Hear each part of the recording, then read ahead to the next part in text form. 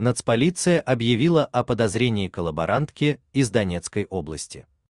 Национальная полиция Украины объявила о подозрении женщине, которая согласилась работать в так называемой администрации Первомайского района ДНР. Об этом сообщает РБК Украина, ссылаясь на публикацию пресс-службы Главного управления национальной полиции. Следствие установило, что в июне 2022 года 49-летняя женщина добровольно заняла псевдодолжность управляющей делами администрации Первомайского района ДНР. В незаконно созданном оккупационной администрацией органе власти она выполняла организационно-распорядительные и административно-хозяйственные функции, заявили в полиции.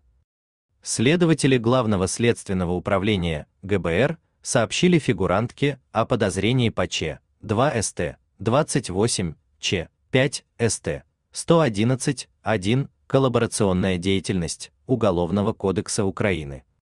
Санкция статьи предусматривает до 10 лет лишения свободы. Досудебное расследование продолжается. Процессуальное руководство осуществляет офис генерального прокурора. Напомним, что правоохранители обнаружили информацию о 19 лицах, которые могут быть потенциальными коллаборантами и боевиками в Луганской области.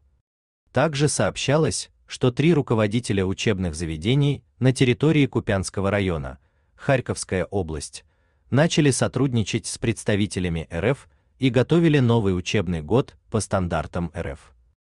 Однако правоохранители установили их и объявили подозрения в коллаборационной деятельности.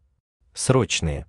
Генерация голоса выполнена с помощью Яндекс SpeechKit. И важные сообщения о войне России против Украины читайте на канале РБК Украина в Telegram.